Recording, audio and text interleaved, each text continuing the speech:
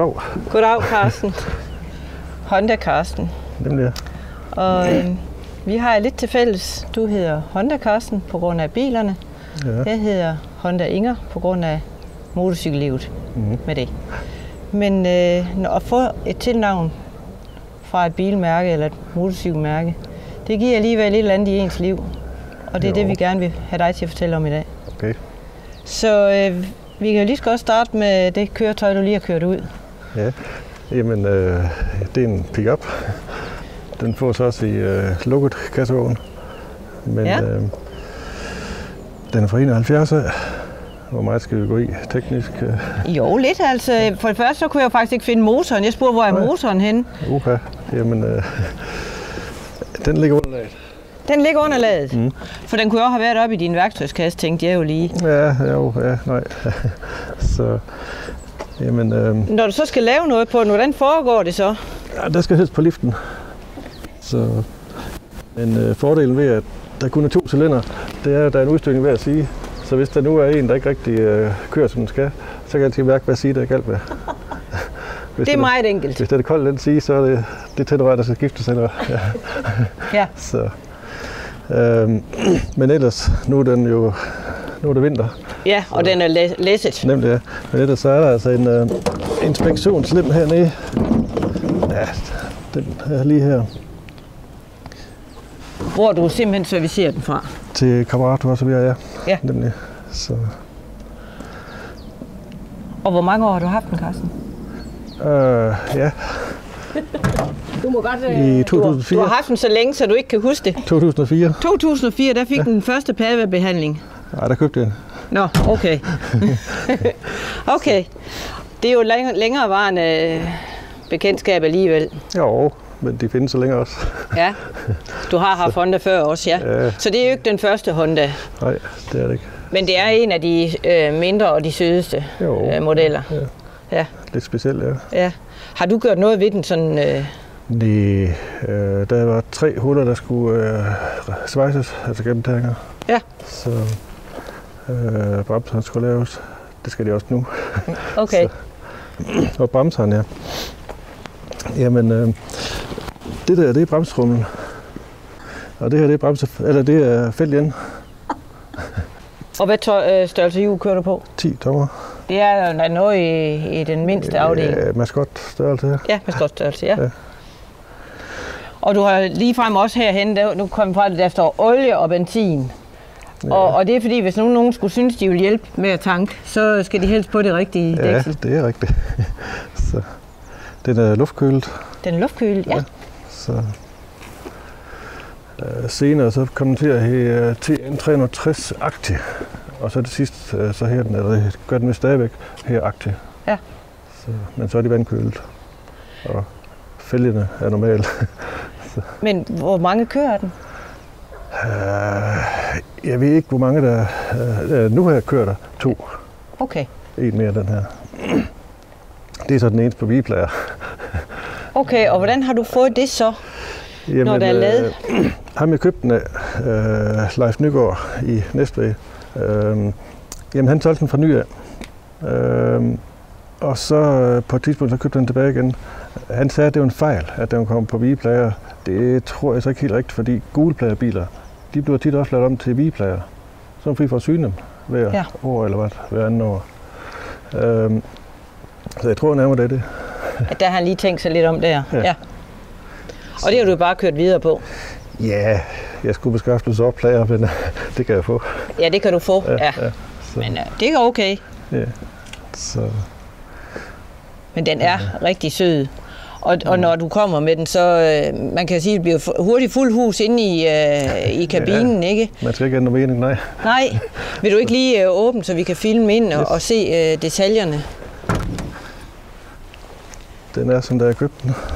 Der, der er ikke øh, plads til de store fødder. Nej, jeg skal huske at have ben på den rigtige side ret sammen. Ja, når du træder ind. Ja. Meget fin original. Har den oprindeligt været blå? Ja. Ja. Men nu er den, som den er. Ja. Det er jo også synd at begynde at- lave den om, fordi det er jo en historie, den har med, med reklamer ja, ja. og det hele. Mm. Ja, hvis vi skal gøre historien lidt længere. Øh, Nygaard han var som sagt øh, Honda-forhandler der i øh, 60-70'erne, men han blev så Toyota-forhandler. Og øh, det kan man faktisk godt se, at det står til, og det er så også logoet. Ja, Toyota-logoet. Mm. Og ja. også øh, herom på bagsiden. Han, han brugte den jo som øh, værkstedsvogn. Og øh, nu skal jeg lige den her væk. Så så skriver han så, når jeg bliver stor, så her er Hiax, og det er jo en Toyota gasvogn, varevogn. så.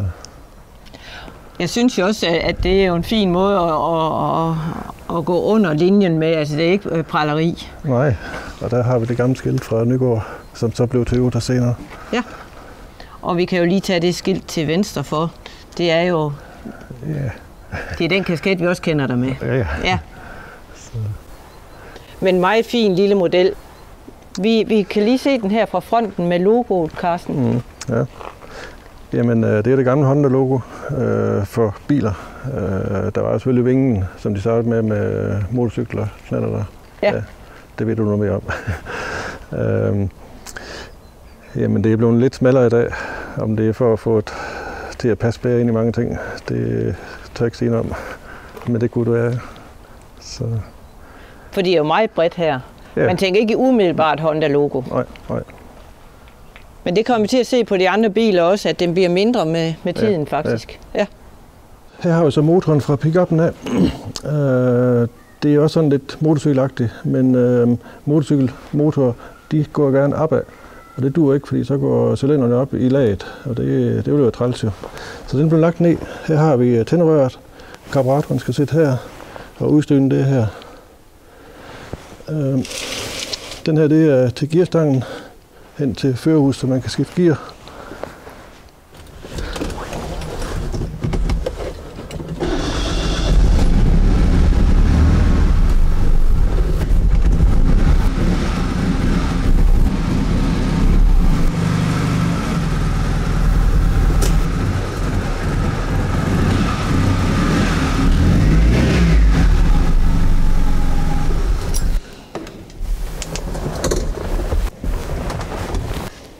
Fin lille lyd. Ja.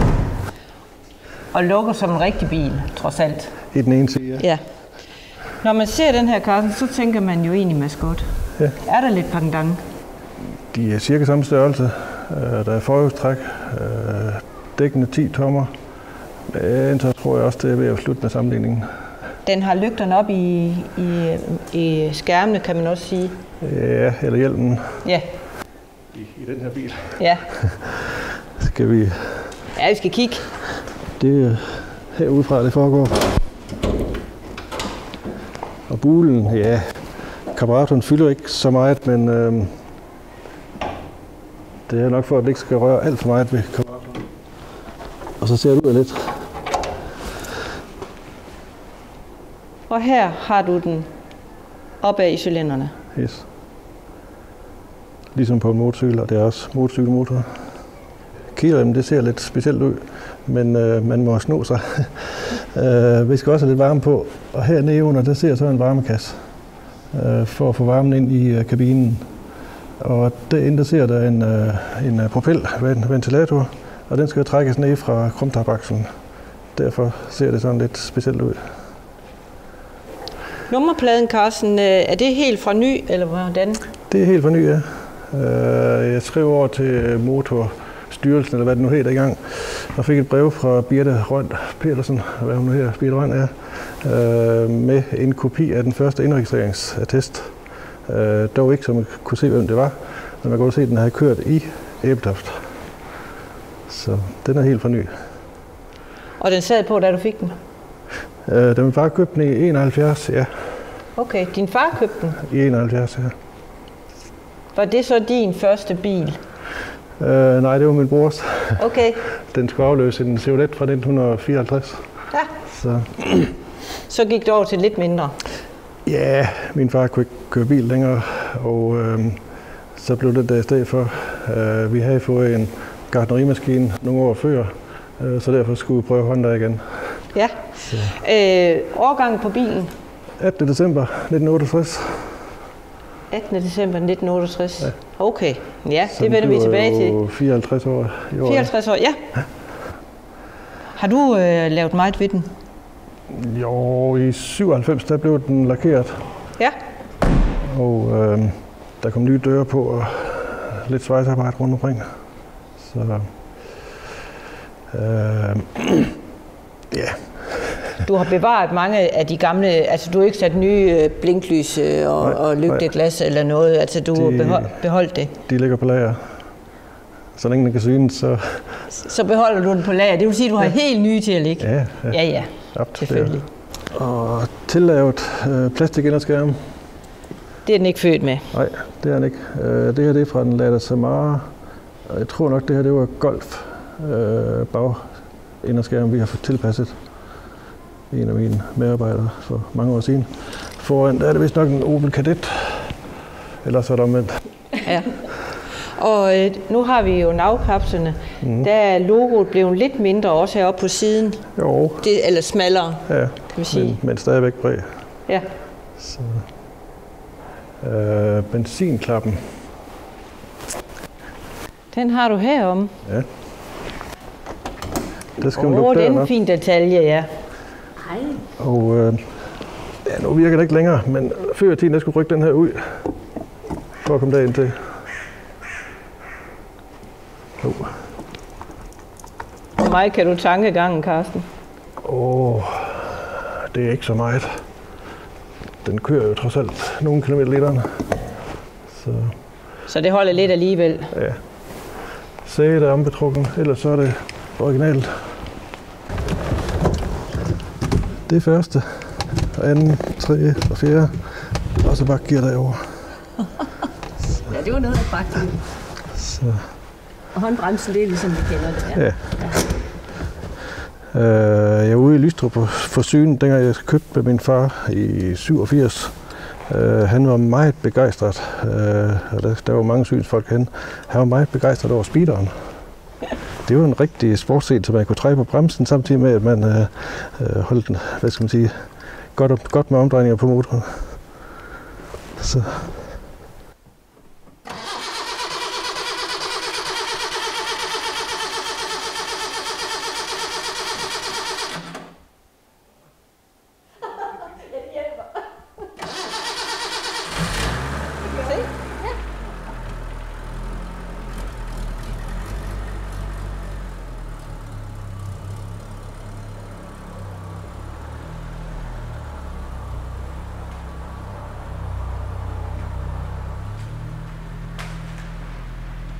her model, det er den, vi ser dig oftest i, synes jeg. jo, Årgang, årgang model.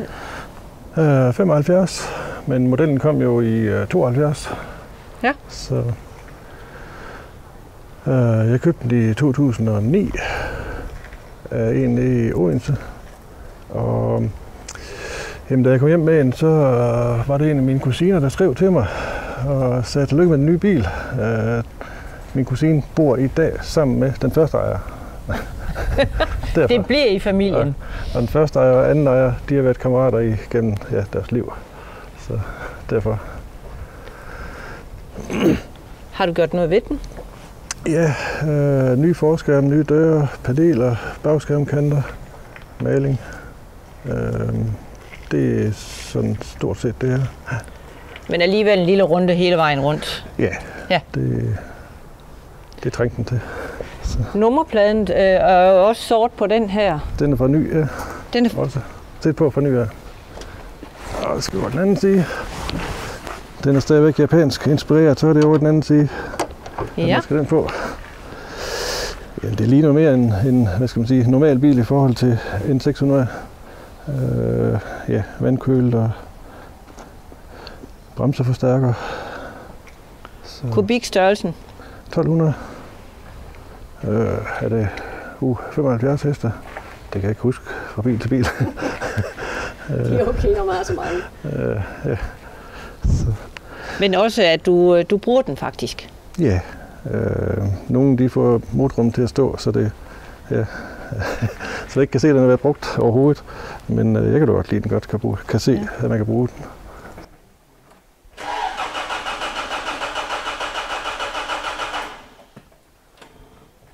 Hjælper det også med sidespejlet her? Ja, det regner med. Det virker.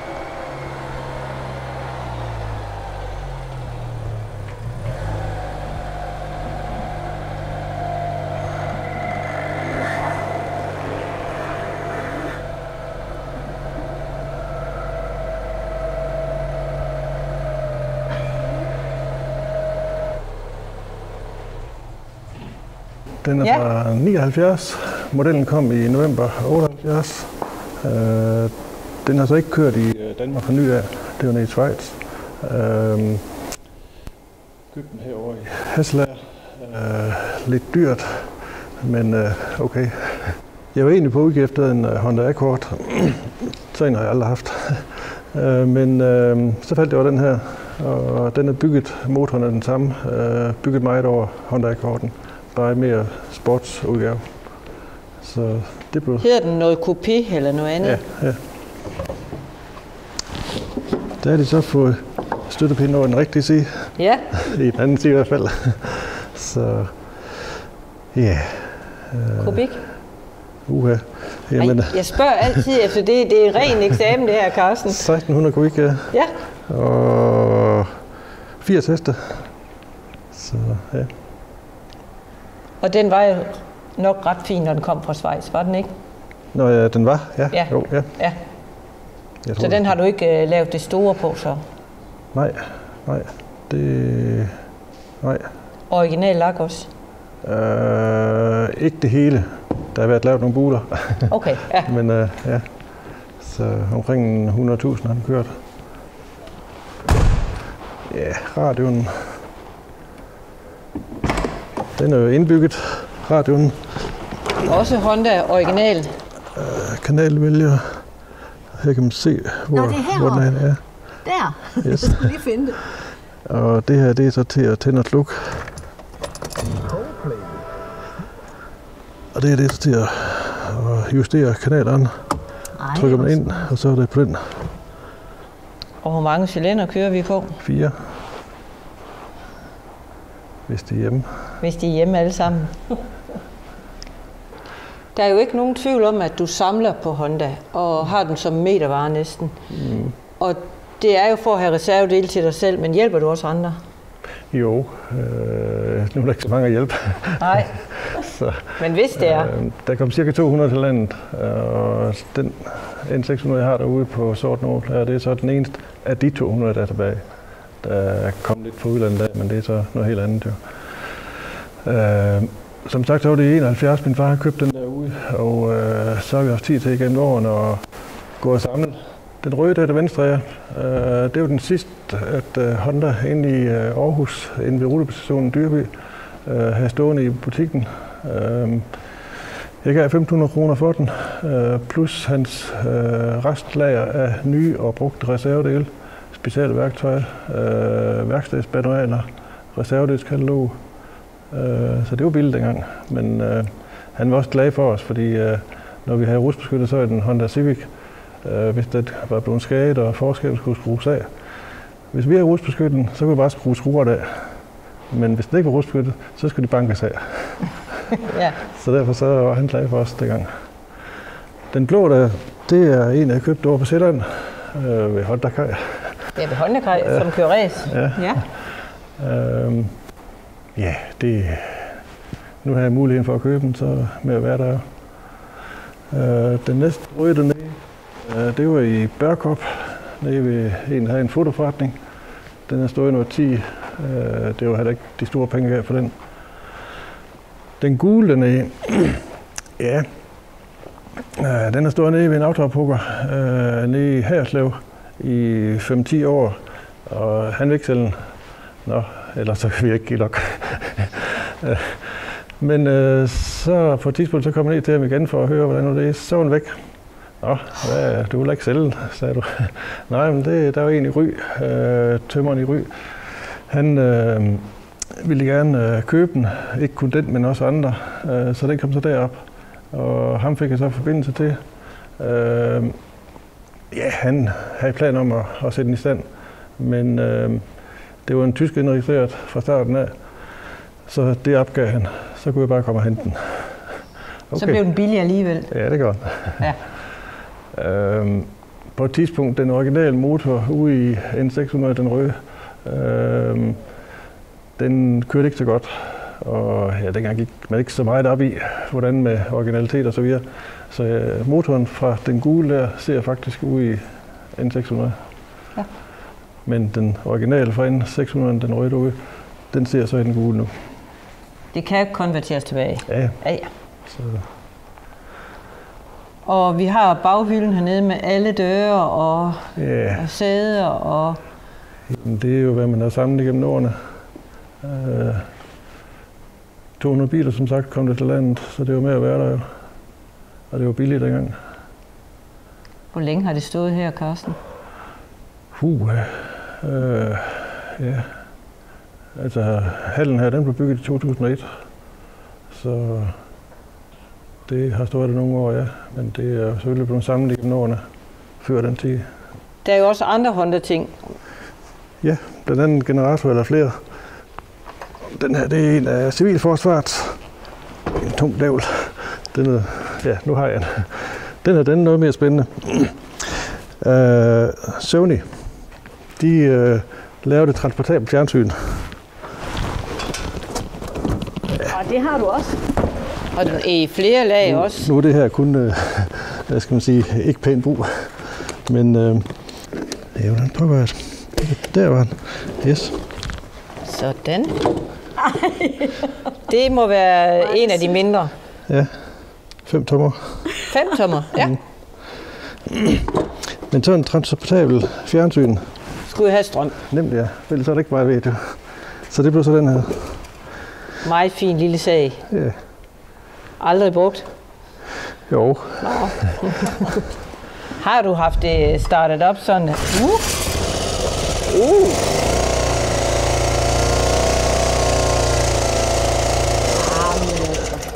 Der er jo ikke et øje tør, Carsten. Nej, det er så fint. Man er nødt til at have sådan noget. Også det er. Ja. Og du har også noget andet, og det er helt fra din gamle far-tid.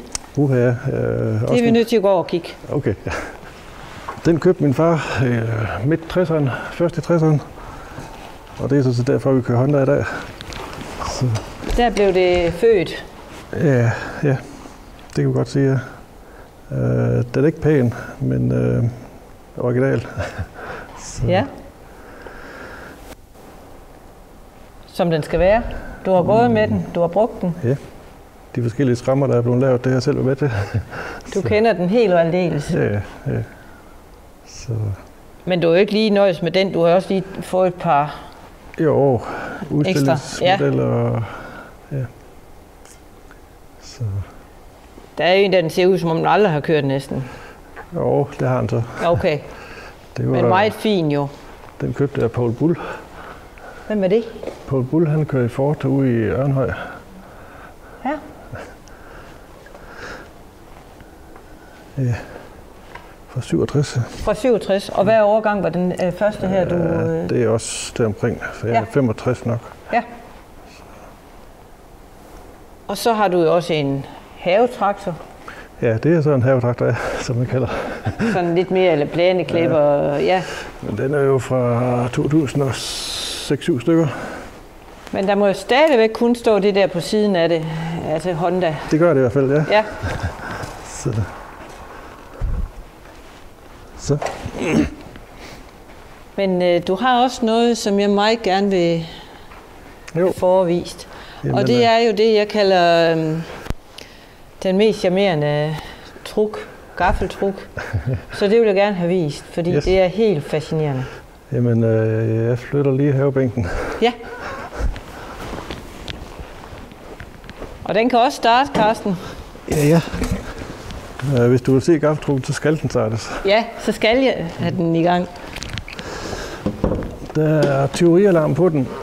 Hvis ikke jeg afmonterer øh, batteriet eller afbryder strømmen, så øh, går der en 2-3 uger, så er der ikke mere strøm på. Okay, så det er lige en omgang herom først. Ja. Og jeg har prøvet at sætte en, øh, en skrue ind på, så man bare kan dreje på en, på en, øh, en drejetnap der.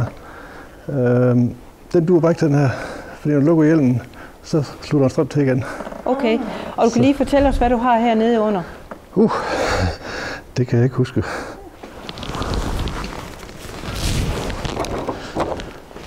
Så kan jeg læse teksten her og hjælpe dig, ikke også? Så kan du læse op, Inger. Ja, den hedder en Honda CRX 1,6, og det var jo en 4 cylinder, ikke? Ja. Det så vi. Og så er den fra 98, Mhm. Og 125 hestekræfter, Ja. og en vægt på 1105. Sådan.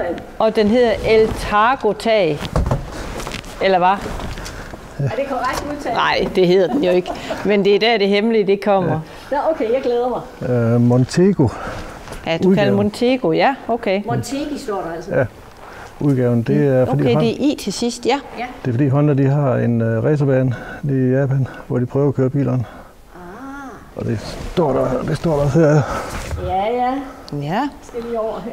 andre de nøjes med Salt Lake. Skal vi prøve at se, om det kan starte? Ja, vi håber. Ej, der skulle ikke justere spejl. Det skulle Nej. ikke. Nej. Ja. Ja, jamen vi får den lidt frem i lyset. Uha, skal vi det? Nej, det behøver vi ikke. Yes. Jamen, øh, for at få tag i dag, så skal man jo så have, have håndbremsen trukken, motoren skal køre, og så skal man løsne taget, og så begynder det at bimle og bamle. Sigeruderne, de skal ned, og bagruden, den skal være op. Så.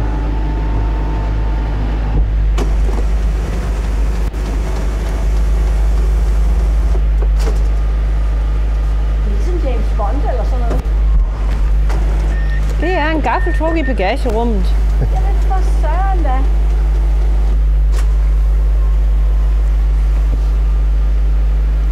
Prøv at tænke at få alt det til at passe sammen.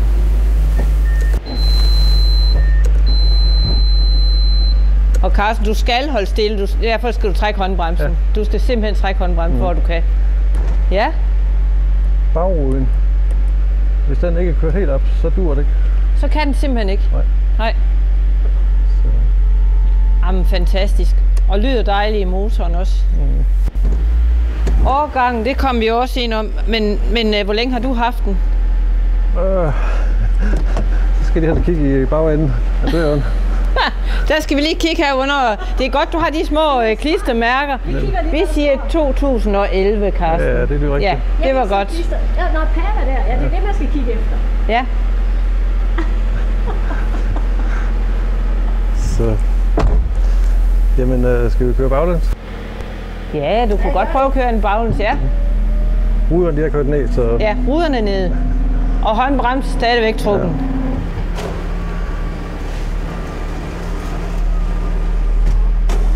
Og du skal overhovedet ikke røre ved noget for at hjælpe den. ja, nu ser jeg. Der skal jeg sådan en dreje på en knap herinde. Og så kan vi køre videre. Okay.